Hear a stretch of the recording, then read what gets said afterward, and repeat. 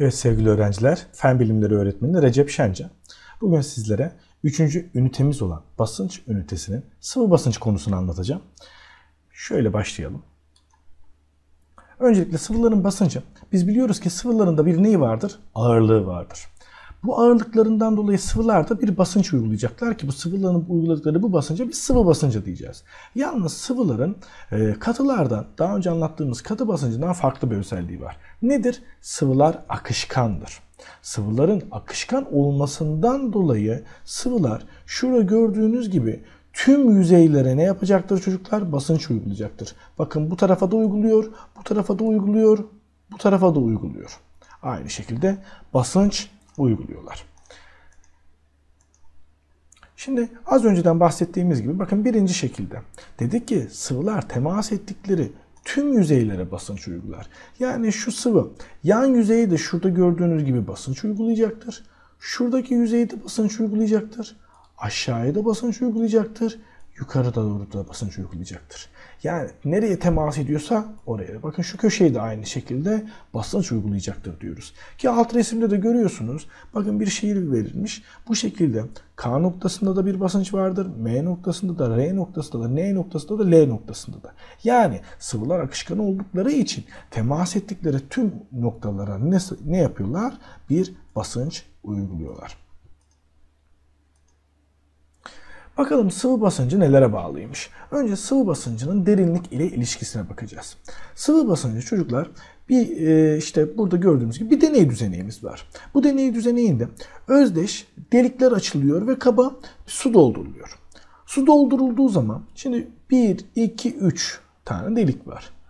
Derinliği az olanın suyu işte şurada gördüğünüz gibi hop şöyle gelirken derinliği fazla olandan su çok daha ileri gittiği görünüyor. Aa, neden derinliği fazla olandan daha ileri gidiyor? Delikler aynı. İşte şu noktada basıncın ne olduğundan kaynaklanıyor, daha fazla olduğundan kaynaklanıyor. Bu noktada ise basınç daha az. O zaman bir sıvı içerisinde derinlere inildikçe sıvının yaptığı basıncın ne yaptığını söylüyoruz? Arttığını söylüyoruz. Hemen benzer bir resmimiz var yine. İşte bakın burada da sıvı basıncı sıvının derinliği ile doğru orantılıdır diyoruz. Yalnız burada derinlik dediğimiz zaman biz işte bu derinliği her zaman şuradan bakacağız. Sıvının en üst yüzeyindeki mesafeye bakacaksınız. Bakın şu yukarıdaki biz yukarıda dediğimiz zaman yüksek olandan bahsetmeyeceğiz. Şu derinliğe bakacağız çocuklar. En fazla yapılan hata işte yükseklik diye e, fark ediliyor. Yüksekte olanın basıncı daha fazladır. Değil. Derinlik arttıkça yani aşağı doğru indikçe üzerinde bulunan su miktarı arttıkça basınç daha fazla olacaktır. Bakın buradaki sıvı basıncı etki eden sıvı bu kadarken buradaki etki eden sıvı basıncı bu kadardır. Bu yüzden burada basınç az, burada ise basınç fazladır diyoruz.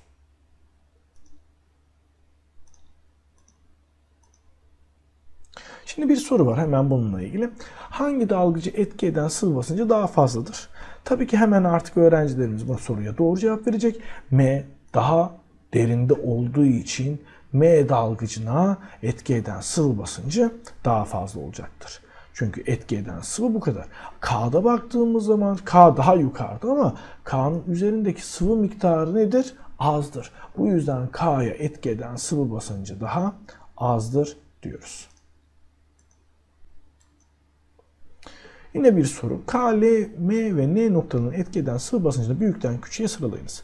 Dedik ki az önce işte e, derinliğe bakacaksınız dedik. Derinlik ilişkisinden bahsediyoruz. O zaman en derindeki kimler vardır? Baktığımız zaman e, K noktası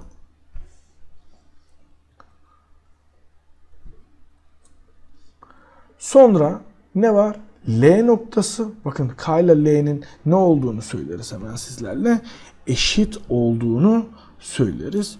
O yüzden K L'ye eşittir. Ondan sonra hemen üzerinde hangi nokta var? M noktası var. Şimdi M noktasına baktığımız zaman M noktasının derinliği daha az olduğu için M noktasının L'den, L'deki uygulanan basınçtan daha düşük olduğunu söyleyeceğiz.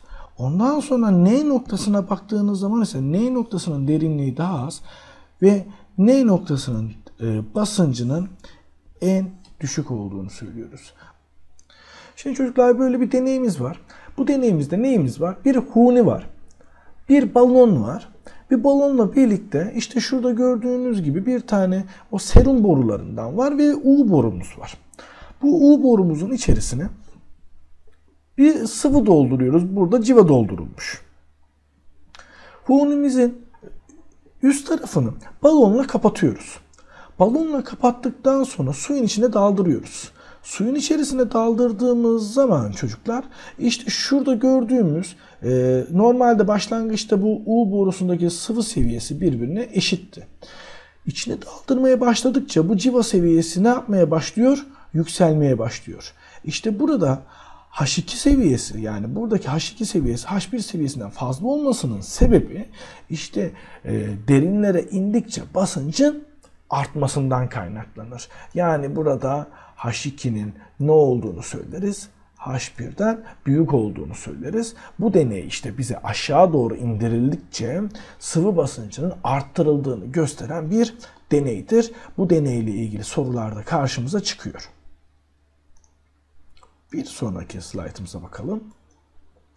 Şimdi bakın bu slaytımızda da barajlardan örnek verilmiş. İşte barajlar yapılıyor e, su, akarsuların önlerinde. Bu akarsuların önlerine yapılan barajlarda işte barajın altlara doğru daha kalınlaştığı gözleniyor. İki resimde de görebiliyorsunuz. Bu altlara doğru kalınlaştırılmasının sebebi işte aşağı doğru basıncın daha fazla olacağı için buranın daha dayanıklı olması gerektiği ile ilgilidir. Bu yüzden işte e, barajlarda alt kısımlar şurada gördüğünüz gibi daha kalın yapılıyor.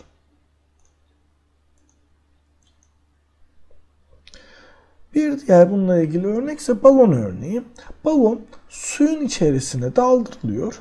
Suyun içerisine daldırıldıkça balon aşağı gittikçe hacminin ne olduğunu söylüyoruz? Azaldığını söylüyoruz. Neden? Çünkü balona etki eden e, sıvı basıncı aşağı indikçe şöyle gösterelim.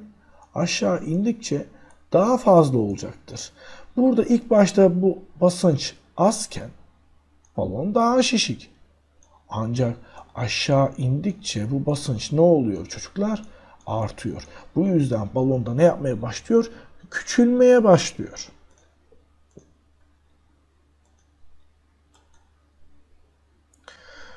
Bu sıvı basıncıyla ilgili duyacağımız kelimelerden bir tanesi de vurgun olayıdır.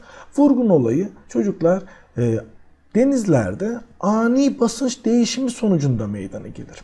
Dalgıçlar e, işte 30 metreden sonra e, işte oksijen tüpü takmak zorunluluğu vardır.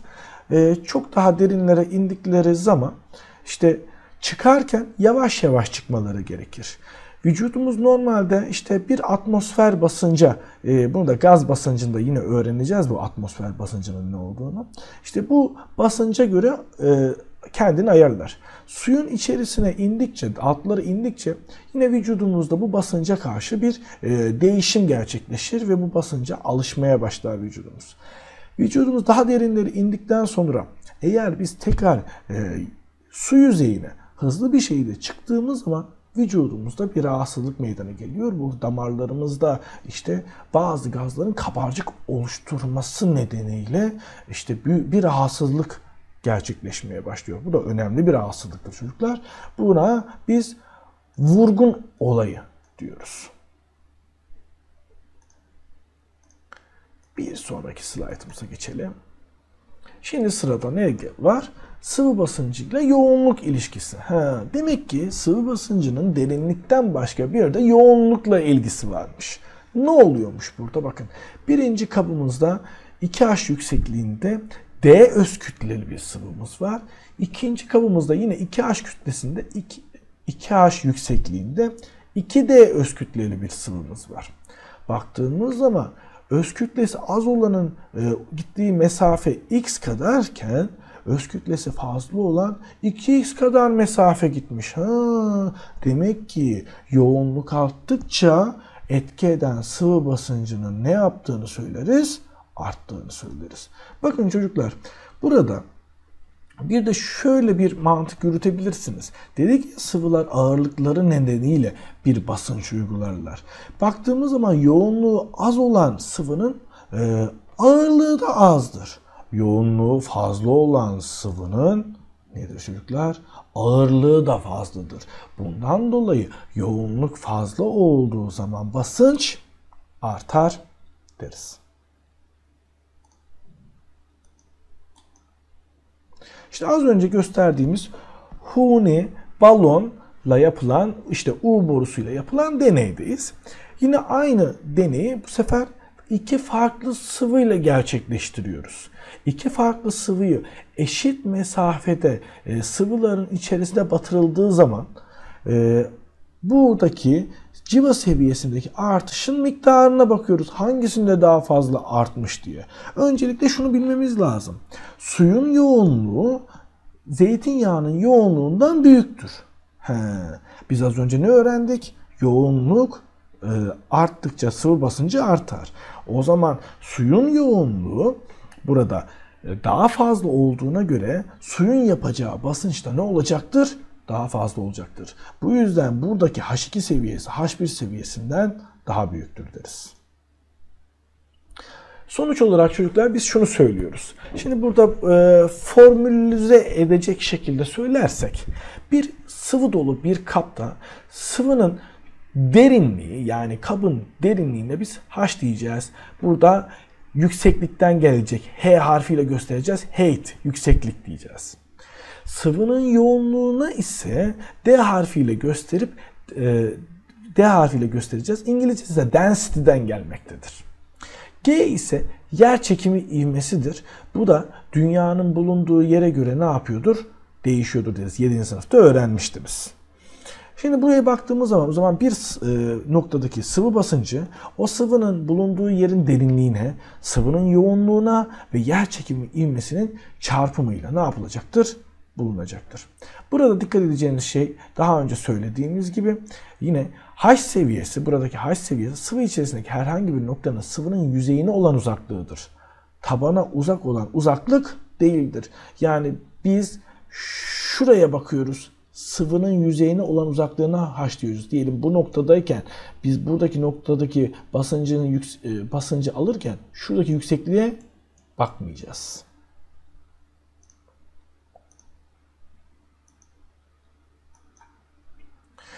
Yani çocuklar sıvı basıncı sıvının yoğunluğuna ya da sıvının cinsine, derinliğe ve yerçekim ivmesine bağlıdır. Şimdi acaba sıvı basıncı nelere bağlı değildir diye düşündüğümüz zaman birincisi ne diyoruz? Sıvının miktarına bağlı değildir. Ki örneğimize bakalım. Şurada birinci kapta 1, 2, 3, 4 litre su varken ikinci kapta 1, 2, 3 litre su vardır. Ancak basınçlarına baktığımız zaman basınçlarına dikkat ederken neye bakacağız biz? Bir, yoğunluklarına, iki, derinliklerine bakacağız. Derinliklerine bakalım. Bu 2H seviyesinde, bu da 2H seviyesinde. Ha, derinlikleri aynı. Yoğunluklarına bakalım. Her ikisinde de su var. İkisinde de su olduğu için ikisinde yoğunluğuna D harfiyle gösterirsek o zaman bunların yoğunlukları da aynı, derinlikleri de aynı. O zaman ne diyeceğiz çocuklar? Basınçları da aynıdır.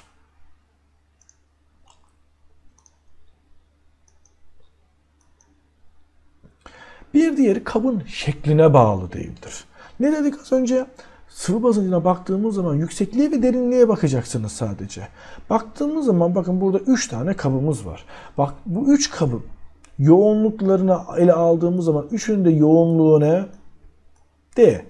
Üçünün de derinliği ne? H. O zaman bunların uyguladıkları basınçlar yine ne olacak diyeceğiz? Birbirine eşit olacak diyeceğiz.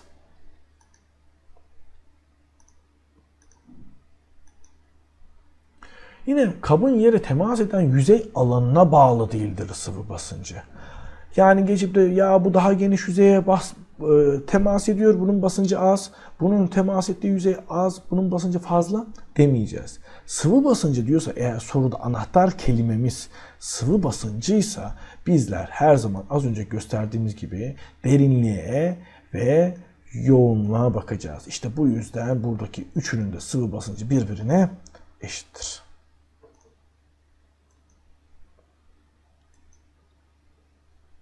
Bir soru sorulmuş. Hemen bu soruyu da sizlerle birlikte cevaplayalım. Yukarıda sıvı yükseklikleri ve yoğunlukları verilen KLM kaplarındaki sıvıların kabın yaptıkları sıvı basınçları PK, PL ve PM arasındaki ilişki nasıldır? Sizlerle gelin bunu büyükten küçüğe sıralayalım. Eğer bu şekilde bir şey varsa ne yapacağız? Biz iki şeyi öğrendik. Yoğunluk arttıkça sıvı basıncı artar. Bir diğeri derinlik arttıkça sıvı basıncı artar. O zaman biz gelin sizlerle şöyle yapalım. Birincinin yaptığı sıvı basıncını bulurken yoğunlukla yüksekliği çarpalım. O zaman birincinin basıncı 2 H D. Bakın ne yaptım? Yükseklikle yoğunluğunu çarptım. İkincisinin basıncına bakıyorum. Yüksekliği H kadar, yoğunluğu D kadar. Bunun basıncı yaptığı basınç HD. Üçüncüsüne bakıyorum. Üçüncüsünün e, derinliği H kadar ama yoğunluğu 2D kadar. He, şura dikkat ediyor musunuz? Bakın buraya. Birinci ile üçüncünün yaptığı basınç birbirine eşit. O zaman biz ne diyeceğiz çocuklar burada? K'nın basıncı M'nin basıncına eşit. Bunlar L'den büyük. Haydi yazalım. O zaman hemen şuraya K'nın basıncı M'nin basıncına ve bunlar L'den büyüktür diyeceğiz.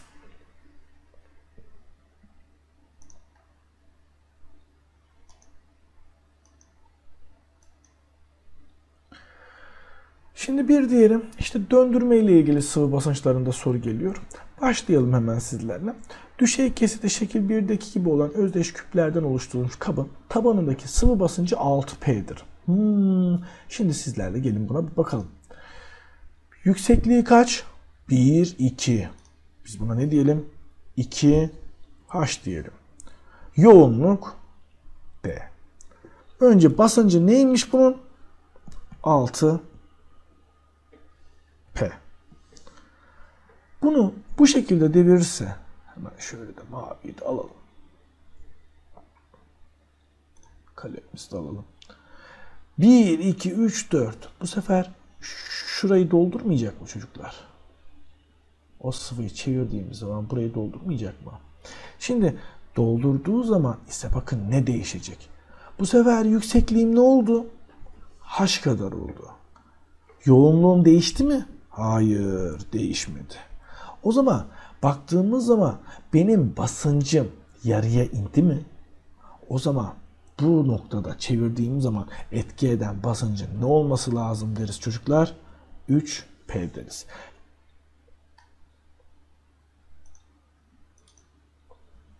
Şimdi çocuklar bu konularla ilgili bir de grafik sorularımız var. Grafik sorularını yorumlamak çok önemli. O yüzden bakın size göstereceğimiz şu 4 örneği iyi inceleyin. Ondan sonra farklı kaplardaki bu basınç grafiklerini sizlerin kendiniz görmeniz gerekecek. Birincisi öncelikle kap düzgünse suyun debisi de düzgünse yani düzgün bir e, musluktan akıyorsa buradaki basınç su aktıkça düzenli artacaktır. Çünkü eşit zaman aralıklarında eşit miktarda su dolduğu için basınç düzenli ne yapacak diyeceğiz? Artacak diyeceğiz. Eğer kap düzgün değilse, üste doğru genişliyorsa bu sefer ne olacak çocuklar? Su akıyor ama ilk başta suyun yüksekliği çabuk artarken artık yavaş yavaş yüksekliği çabuk artmamaya başlayacak. Bundan dolayı işte çocuklar basınç grafiği şurada gördüğümüz gibi eğri bir grafik çıkacak ama basıncın artışının e, artış miktarının azaldığı bir grafik ortaya çıkacak. Artık e, yukarı doğru gittikçe artışı o kadar fazla artmıyor. Çünkü daha geniş bir yüzeyde yükseklik eskisi kadar artmıyor. Tam tersi. Bir de yukarıya doğru daralan bir kapsa bu sefer su doldukça artış miktarı da artmaya başlıyor. Artış miktarı arttığı için bu sefer artış miktarı artan bir grafik çizeceğiz ki bu da bu grafiktir. Eğer farklı bir kap verdiyse şimdi bakın buraya. Şimdi ne yapacağız? Su buraya akıyor bize K noktasındaki basıncın değişimini söylemiş. Birincisi su aktıkça çocuklar bakın su akıyor. Akıyor. K noktasında bir basınç artımı var mı? Yok. Ne zamana kadar? Şu bloğa gelene kadar. Bu bloğu geçtikten sonra basınç ne yapmaya başlayacak? Bir anda artmaya başlayacak. Artmaya başlayacak. Artmaya başlayacak. Ne zamana kadar? Yine şu bloğa kadar. Bu bloktan sonra bir anda basınç artış hızının ne olduğunu göreceğiz. Azaldığını göreceğiz. Ama yine düzgün bir kapı olduğu için düzgün bir şekilde olacak ve grafik bakın önce basınç hiç artmadı. Ondan sonra artmaya başladı. Daha sonra daha az bir artış hızıyla artmaya devam etti.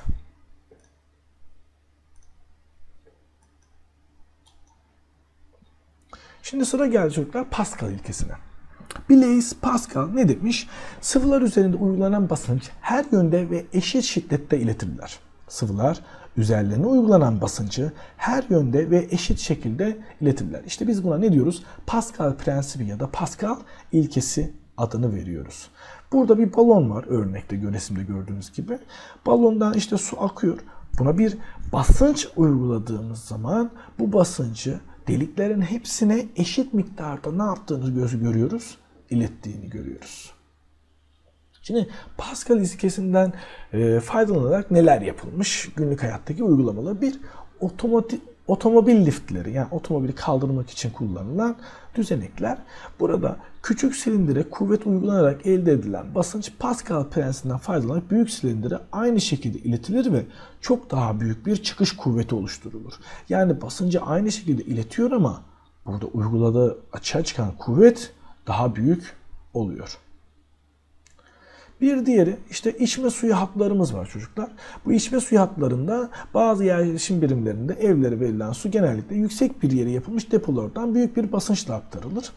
Eğer e, bulunduğumuz ev deponun üzerindeyse buralarda ne gerekecektir diyoruz? Ek bir pompa gerekecektir. Çünkü su seviyesi bu seviyeye kadar çıkar.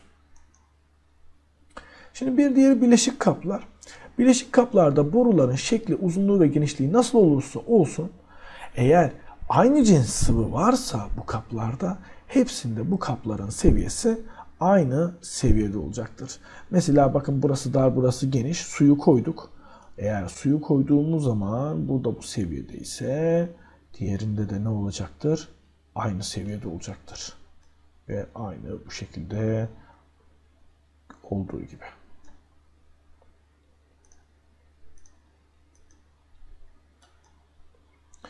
Berber koltuklarında işte o koltukların kaldırılıp indirilmesi veya dişçi koltuklarında da aynı mekanizma vardır.